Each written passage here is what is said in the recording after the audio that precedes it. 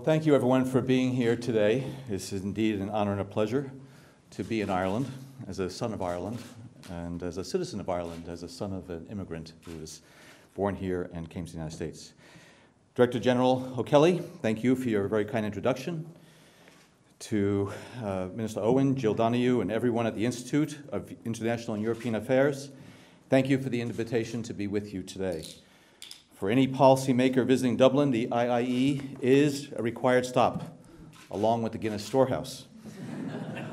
and you'll be relieved to know that in the interest of a serious and sober presentation, I have come to you first. Along with your analysis of European and global challenges, the IIEA is a forum for dialogue between government, the private sector, civil society, and academia. I am especially pleased to see so many distinguished leaders with us today, including from the Prime Minister's Department, the Departments of Justice, Defense, and Foreign Affairs, the Defense Forces, and Diplomatic Corps. That includes America's representative to the Republic of Ireland, Ambassador Dan Rooney, who just joined us for lunch, who has done much over his lifetime and especially over the past three and a half years to strengthen the bonds of friendship and cooperation between the United States and the Emerald Isle. Thank you all for being here, and I very much look forward to a good dialogue with you today. It is wonderful to be in Ireland on a very personal level, as I am one of the tens of millions of Americans who proudly trace our heritage to this island and its people. My 92 year old father, Owen, as Director Kelly said, was born and raised in County Roscommon, in Kilteven and Malcarrow.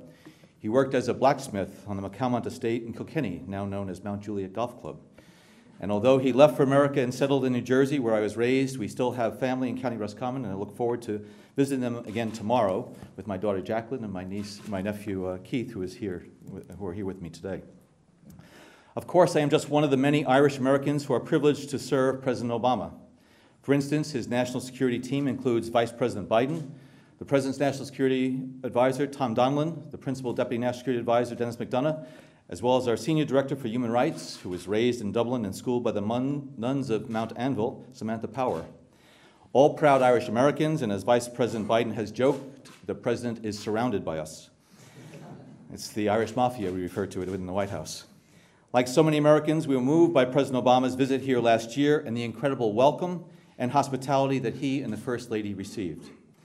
His meeting with President McAleese and her husband and the exuberant crowd at College Green reflected the friendship and affection, the shared history, the common hopes that bind our countries like none other. His meeting with Taoiseach Kenny at Farmleigh House and the hospitality of Mrs. Kenny was a chance to reaffirm our cooperation on many fronts. And the President's visit to his ancestral home in Moneygall was a chance, as he said, to look for the Moneygall Obamas. That visit, like all the President's meetings with Taoiseach Kenny, underscored the depth of cooperation between our countries, especially when it comes to the focus of my work, our shared security. In this work, we are profoundly grateful for our partnership with Ireland and the leadership that this nation displays around the world. We see Ireland's leadership on this island in its support for the agreement that has inspired other nations to take risks for peace. We see Ireland's leadership across Europe when Irish men and women in uniform help keep the peace in the Balkans. And we look forward to working closely with our Irish friends as Ireland assumes the EU presidency next year. We see Ireland's leadership the world over, including in the international mission in Afghanistan. Irish support and hospitality have greeted countless American troops as they have passed through Shannon in support of operations in Afghanistan.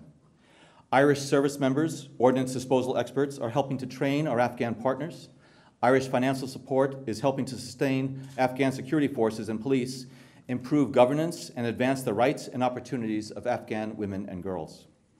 We see Irish leadership across the Middle East and North Africa, in the peacekeepers in the Sinai, Golan Heights, and Lebanon, some of whom have given their lives, in the unarmed observers who went to Syria in the hopes of helping to end the violence against the Syrian people, and in the humanitarian support that Ireland has provided during this Arab Spring, especially to the people of Tunisia, Libya, and Syria. We see Ireland's leadership elsewhere in the world, where the peacekeeping missions from Western Sahara to the Congo, building the capacity of Somali security forces, supporting anti piracy efforts off the Horn of Africa, or being recognized as a global leader in the fight for food security and nutrition. As President Obama's Homeland Security and Counterterrorism Advisor, I would add that we are especially grateful for Ireland's partnership in meeting the terrorist threat to our nations. Over the past four years, we have strengthened aviation screening and security for flights bound for the United States, thanks to partners like Ireland, which hosts our customs and border protection personnel at the airports in Dublin and Shannon. Our security cooperation with Ireland, of course, reflects a larger truth of American foreign policy. Our relationship with our European allies and partners is the cornerstone of our engagement with the world. One of President Obama's top foreign policy priorities has been to strengthen our alliances, including with our European allies and partners.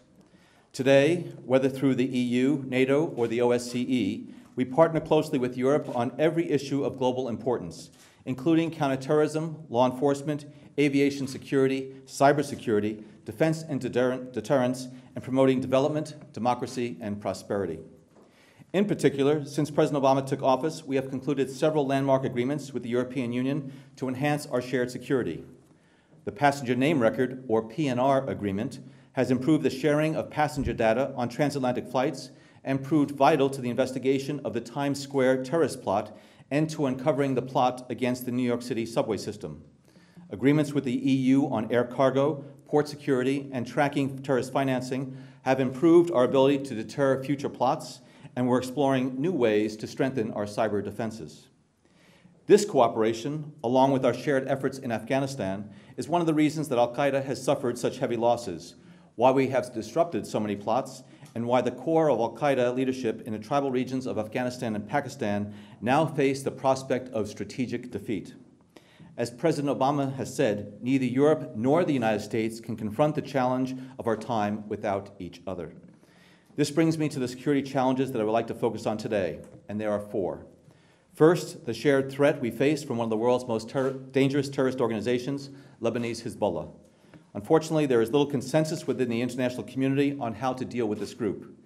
To be sure, Hezbollah provides extensive social services in Lebanon. As a major political force in the country, its representatives sit in parliament and it has extensive influence in the current Lebanese government. But its social and political activities must not obscure Hezbollah's true nature or prevent us from seeing it for what it is an international terrorist organization actively supported by Iran's Islamic Revolutionary Guard Corps, Quds Force.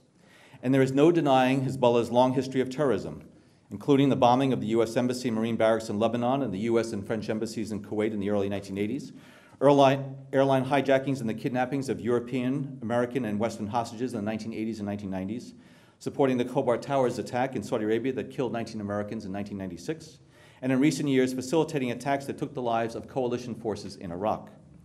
Moreover, the terrorist threat from Iran and Hezbollah is growing. We have seen the recent plots or attacks in Georgia, Azerbaijan, Israel, Kenya, India, Thailand, Cyprus, and the plot to assassinate the Saudi ambassador in Washington, D.C. We have seen the terrorist attack in Bulgaria that killed five Israeli tourists and a Bulgarian bus driver, and which, while still under investigation, bore the hallmarks of a Hezbollah attack. We have seen Hezbollah training militants in Yemen and Syria, where it continues to provide material support to the regime of Bashar al Assad, in part to preserve its weapon supply lines. In short, Hezbollah continues to pose a real and growing terrorist threat to Europe and to the United States and to the rest of the world. As such, the United States will continue to use the full range of our foreign policy tools to prevent it from endangering our national security. We have designated Hezbollah as a terrorist organization, and we have singled out for travel bans and financial designations those leaders that we know are involved in the group's terrorist agenda. We have cracked down on Hezbollah's illegal financing schemes, including one that spanned Europe, South America, West Africa, the United States, and Asia. We have also designated Hezbollah for its support to the Assad regime's barbaric crackdown, and we have identified Hezbollah's leader, Hassan Nasrallah, as the key architect behind the group's strategy in Syria.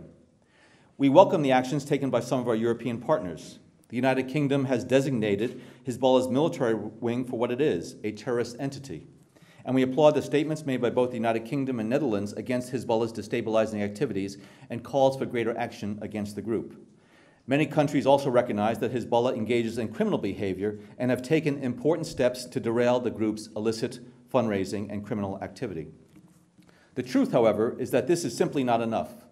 Without international recognition of and action against Hezbollah's terrorism, the group will continue to operate with impunity and it will be able to raise funds that enable its terrorist activity. To prevent this, the international community must assume a more proactive posture against Hezbollah and our countries must work together to uncover its infrastructure and disrupt its networks because Hezbollah is not designated as a terrorist group in Europe. Even in Europe, many countries, including Ireland, have not yet designated Hezbollah as a terrorist organization, nor has the European Union. And let me be clear failure to designate Hezbollah as a terrorist organization makes it harder to defend our countries and protect our citizens. As a result, for example, countries that have arrested Hezbollah suspects for plotting in Europe have been unable to prosecute them on terrorism charges because Hezbollah is not designated as a terrorist organization. Even as we continue to hold Iran accountable for failing to fulfill its nuclear obligations, we call upon our European allies and partners, including the EU, to join us not only in recognizing Hezbollah's terrorist and criminal activities, but in condemning and disrupting those activities. Moreover, we must hold accountable those like Iran and Syria who sponsor Hezbollah's terrorist acts. European nations are our most sophisticated and important counterterrorism partners, and together we must make it clear that we will not tolerate Hezbollah's criminal and terrorist activities. This brings me to the second challenge, a technique employed by, by criminal and terrorist groups around the world, from Southeast Asia to the Americas, kidnapping for ransom. Obviously, this is a deeply emotional issue. When innocents are taken hostage, our instincts are, of course, to do everything in our power to bring them home safely. At the same time, history has shown that paying ransoms to groups that kidnap our citizens becomes a vicious cycle, fueling the very criminal activity, violence, and terrorism that we seek to stop. In partnership with Europe and the international community, we have put extraordinary pressure on Al Qaeda, on Al Qaeda's ability to raise, move, and use funds. Perhaps as a result, we have seen Al Qaeda affiliates increasingly turn to kidnapping operations and efforts to extract large ransoms from governments, private companies, and other non governmental organizations. In Pakistan, the Tehrik-i-Taliban, Pakistan, the TTP, and its allies have generated large ransoms. In Afghanistan, ransom payments have been used to fund Taliban sponsored attacks against coalition forces and to recruit and train new operatives. Al Qaeda in the Arabian Peninsula, or AQAP, has benefited from ransom payments in November 2011 for the release of three NGO workers held in Yemen, as well as likely ransom for two other hostages in May 2010. These ransom funds support AQAP operations against the Yemeni government, as well as planning for attacks against the United States and other Western countries. The problem is probably most acute in the Sahel region of North and West Africa. Al Qaeda in the, in the lands of the Islamic Maghreb, or AQIM, has collected many millions of dollars in ransom since 2008, probably more than any other Al Qaeda affiliated group. These ransom payments have helped AQIM create a safe haven in Mali, as well as attract and train new recruits, buy weapons and communications, and pay the families of deceased combatants. All told, since 2004, terrorist groups linked to Al Qaeda have reaped at least $120 million in ransom payments. Payments used to take more hostages, plot more attacks, and destabilize more governments. In short, ransom payments, many of which come from Europe, are not part of the solution, they are part of the problem. In the United States, our position is clear. In accordance with longstanding policy, we will not pay ransoms or give concessions to kidnappers or hostage takers. Moreover, we will actively deny hostage takers the benefits of ransom, prisoner releases, policy changes, or other acts of concession. We will use all elements of our national power to pursue, capture, and prosecute leaders, financiers, negotiators, and others involved in kidnapping, as well as strip them of their assets. In addition, we are working with allies and partners to galvanize the closer international cooperation we need to meet this threat. This includes increasing intelligence sharing, building military capacity, and deepening law enforcement and judicial cooperation to prevent kidnappings and punish perpetrators, and strengthening economic sanctions. We look forward to these principles and tools being adopted by the Global Counterterrorism Forum this December. Most importantly, from President Obama on down, we continue to urge our allies and partners to resist the temptation to pay ransoms in the first place. This scourge can only persist if we enable it. The power to stop it rests in the hands of governments who make it clear that we will not reward criminals and terrorists who kidnap our citizens. Closely related to this is a third challenge modern day piracy. We see it all around the world, from the Straits of Singapore and Malacca to the Gulf of Guinea but it is off the Horn of Africa, in the Gulf of Aden, where we have seen piracy at its worst. What started as raids by disorganized, disorganized bands of criminals morphed into a multi million dollar international enterprise reaching out 1,200 nautical miles into the Indian Ocean. Since 2008, Somali pirates have attacked more than 400 vessels, hijacked about 175 of those vessels, kidnapped more than 3,000 crew members from more than 40 countries, and received vast ransom payments, including $140 million in ransom payments in 2011 alone.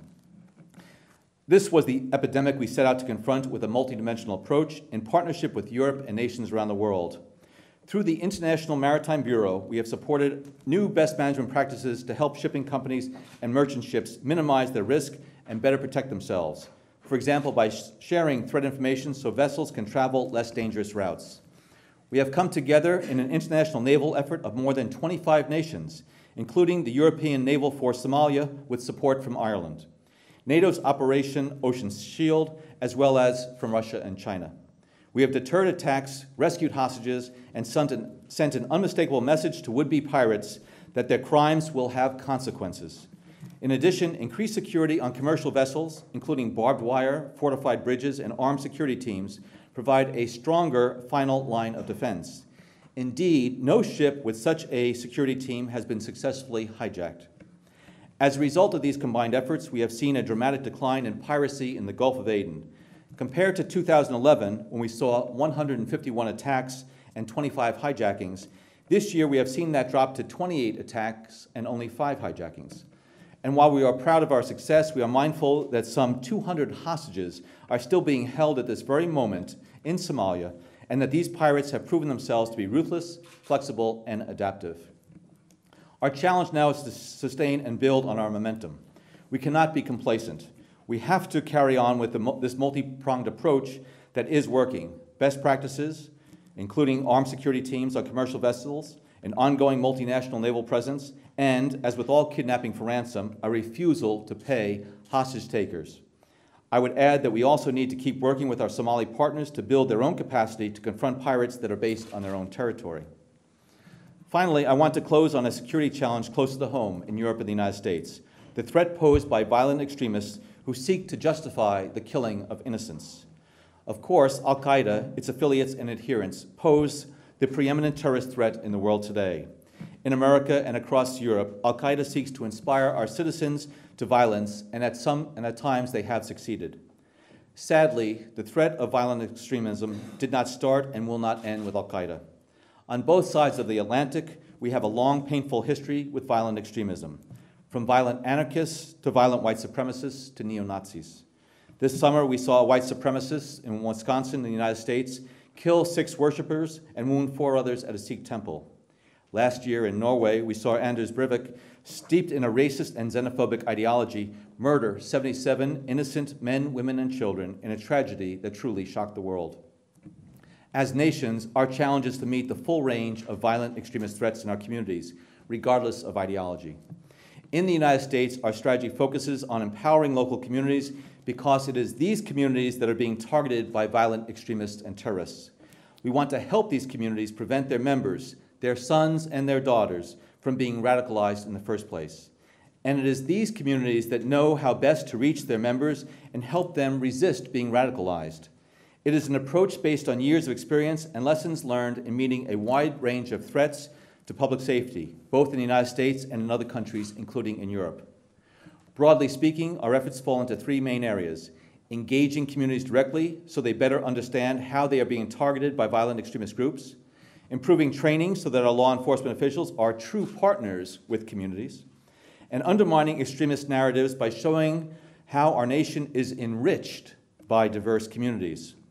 Over the past year, we have also increased our collaboration with our European partners not just governments, but civil society and community leaders. And we will continue to do so because countering violent extremism is a challenge that requires that we learn from each other. The bottom line on both sides of the Atlantic is that we have to work with communities rather than stigmatize them. That is especially true when it comes to our fellow citizens who are Muslim. In word and deed, we need to show Muslim communities that they are just as much a part of our countries as people of any other faith. This is a message of inclusion and opportunity that President Obama has conveyed on many, many occasions. As he has said, the United States is not and never will be at war against Islam. Our nation is strengthened by all its citizens, including those who are Muslim. We are at war against Al Qaeda, a band of thugs who offer nothing but but death and destruction. And when it comes to preventing violent extremism and terrorism in our countries, Muslim communities are part of the solution. In closing, I would simply like to say that none of the challenges I've discussed can be met by any one nation alone. If we are going to meet the terrorist threat from Hezbollah, nations must recognize Hezbollah as a terrorist organization. If we're going to combat the scourge of kidnapping for ransom and piracy, nations must come together and resist the temptation to pay ransom to hostage takers, as well as collect together to protect the freedom of our seas. And if we are going to help our fellow citizens protect themselves against violent extremism, we need to engage them and treat them as decent and patriotic partners that they are. None of these challenges lend themselves to quick or easy solutions. Meeting them will take many, many years. But if we ever needed a reminder of the progress that is possible, we need only look at the history of this island and the historic peace agreement that has endured. We need only look at the history of this continent, once ravaged by wars, to a European Union which, in the words of the Nobel Committee, has contributed to six decades of peace and reconciliation, democracy, and human rights. At College Green last year, President Obama said that our two nations remember, in the words of Yeats, that in dreams begin responsibility. On behalf of President Obama and those of us who serve in his administration, we are proud to stand with Ireland and with Europe. Together, we can meet our responsibilities and advance the security that our citizens dream of and that they so richly deserve. And it truly is an honor and pleasure to be here today, and I really look forward to taking your questions. Thank you.